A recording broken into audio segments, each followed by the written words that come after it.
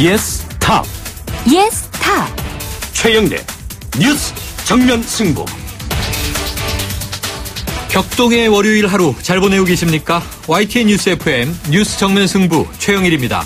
지금이 개헌론이 적기다. 임기 내 헌법 개정 완수하겠다. 어, 저도 오늘 대통령 시정연설을 듣고 보다가 깜짝 놀랐는데요. 대통령의 이 한마디에 이미 개헌 정국은 본물이 터진 분위기입니다.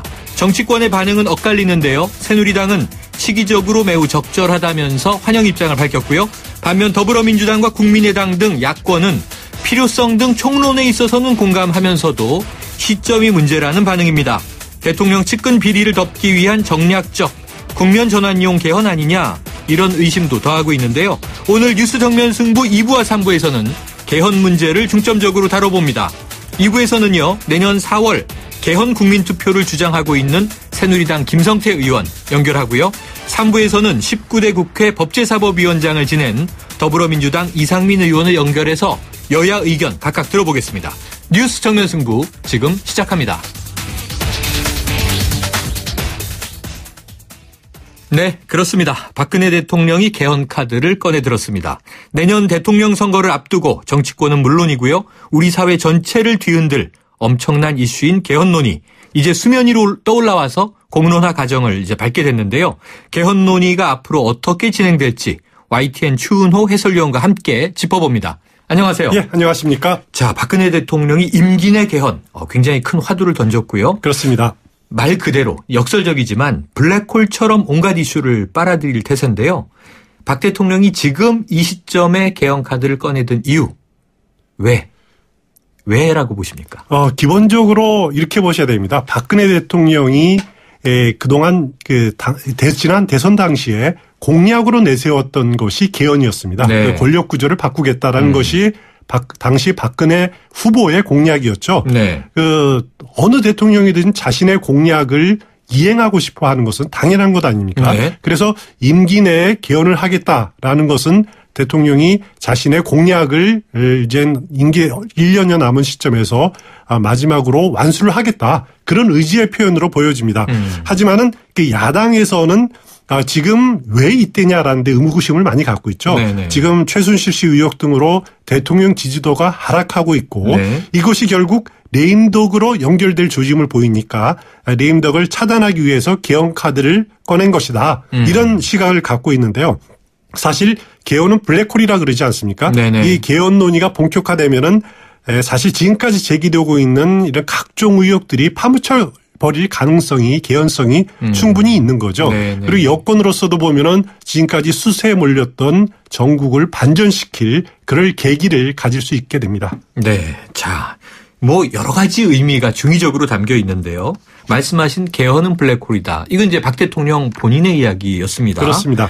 자, 지금의 헌법, 흔히들 말하는 이 87년 체제, 변화돼야 한다는 개헌 필요성은 뭐 많은 국민들 또 정치인들은 공감하는 바인 것 같은데 이 정작 대통령이 개헌 카드를 꺼내 드니까 이 찬성과 경계의 목소리가 지금 같이 터져 나왔습니다. 그렇습니다. 그 새누리당은 일단 친박 비박할 것 없이 적극적으로 찬성의 목소리가 높습니다. 네. 그 개헌 논의를 적극 뒷받침하겠. 그래서 정진석 원내대표는 국회 내에 개헌 특위 설치 음. 문제를 즉각 논의하자 뭐 네. 이렇게 나타나고 그 밝혔고요.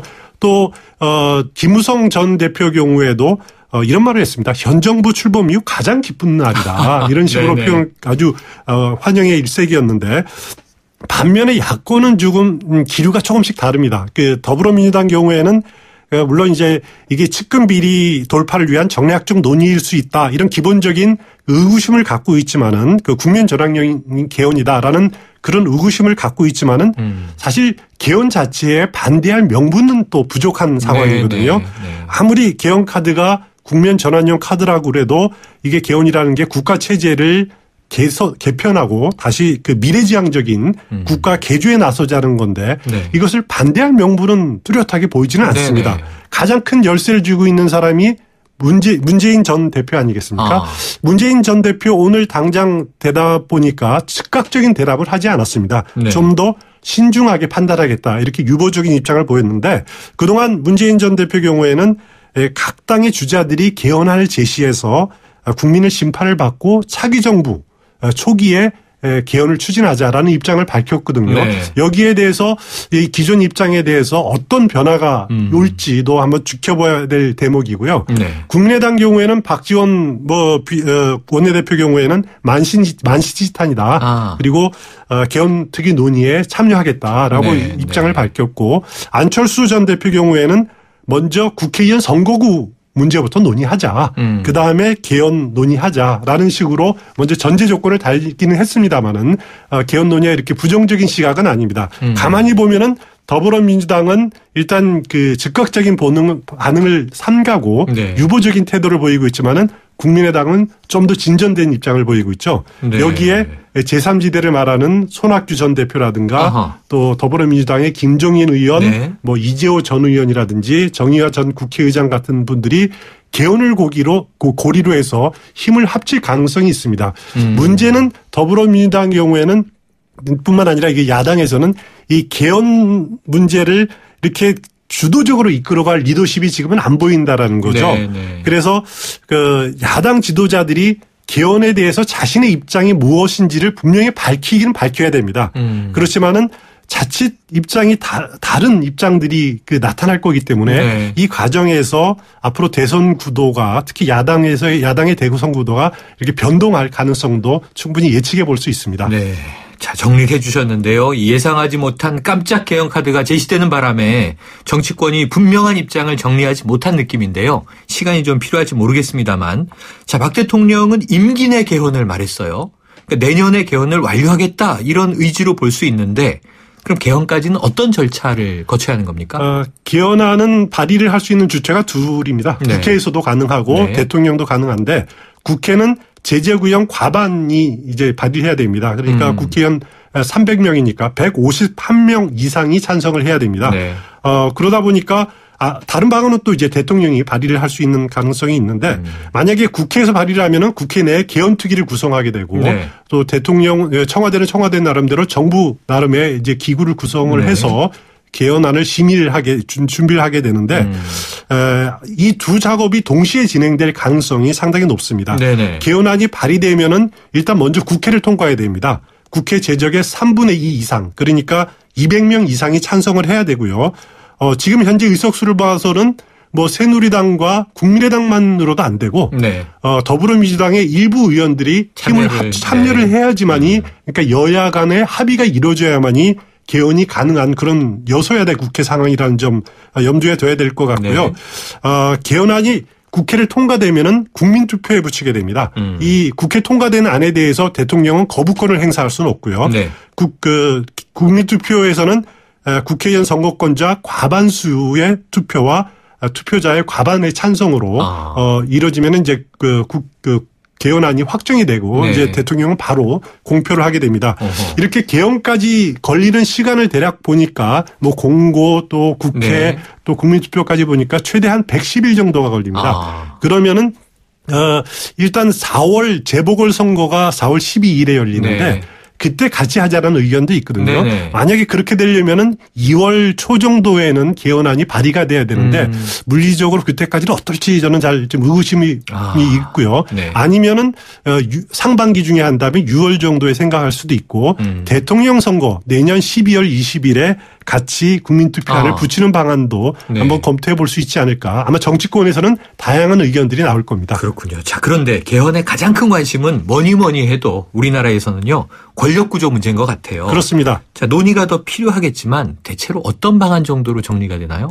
어, 가장 민감한 부분이죠. 권력 구조 개편. 당장 현행 5년 단임, 단임 대- 대통령제를 좀 손보자. 그리고 네. 재앙적 대통령제를 분권형으로 손을 보자. 네. 뭐, 그리고 5년 단임을 손보자는 거는 정책의 이관성을 그 위해서 어, 4년 중임제로 하자. 두번 네. 할수 있도록 하자라는 그런 주장이 있고요. 음. 또 분권형 대통령 분권형 그 제를 채택한 방안은 의원 내각제를 한다든지 아니면 이원 집정부형 그 분권형 음. 대통령제를 채택하자라는 이제 여러 가지 형태의 안들이 예, 지금 많이 나와 있습니다. 네. 결국은 선택의 문제일 뿐이라는 거지 새로운 안이 나올 것은 없는 거거든요. 아. 물론 단 하나의 안만은 택- 채택할 필요는 없다고 봅니다. 네, 네. 저는 개인적으로 에, 대통령 중임제, 4년 중임제와 네. 분권형 대통령제를 결합한 안도 아. 충분히 검토해 볼 수 있고 네네. 그런 안도 어, 충분히 논의가 될 수 있지 않을까라는 생각이 됩니다. 그렇군요. 우리나라 현실에 잘 맞는 방안이 만들어져야 될 텐데, 자, 여러 가지 의견이 이제부터 쏟아질 테니까 앞으로 지켜보도록 하죠. 오늘 소식 고맙습니다. 감사합니다. 지금까지 추은호 YTN 해설위원이었습니다. 크리네어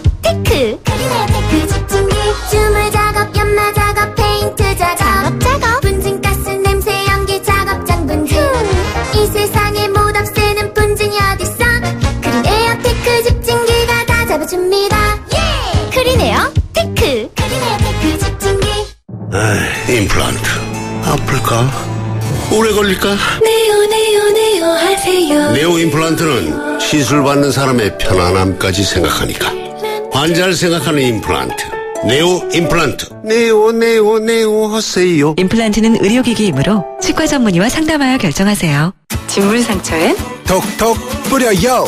진물은 잡아주고 새살은 솔솔 톡톡 뿌려요 자전거 등산 캠핑에도 챙기세요. 뿌리는 상처 치료제 마데카솔 분말. 톡톡 뿌리세요. 상처에 참 좋은 선택. 마데카솔 분말. 연고는 마데카솔 케어 1부는 여기까지입니다. 2부로 돌아오겠습니다.